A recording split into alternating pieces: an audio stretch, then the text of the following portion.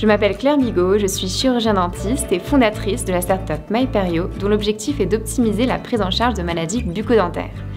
Cela fait deux ans que je me suis lancée dans l'entrepreneuriat pour lancer mon projet en e-santé. C'est grâce aux pépites Créagi IDF donc que j'ai pu monter ce projet progressivement, d'une part par des connaissances entrepreneuriales et d'autre part grâce à la rencontre d'experts qui m'ont ouvert les yeux sur un univers que je ne connaissais pas. Ces compétences m'ont donc permis de lancer ce projet et aujourd'hui j'espère, avec MyPerio, vous redonner le sourire.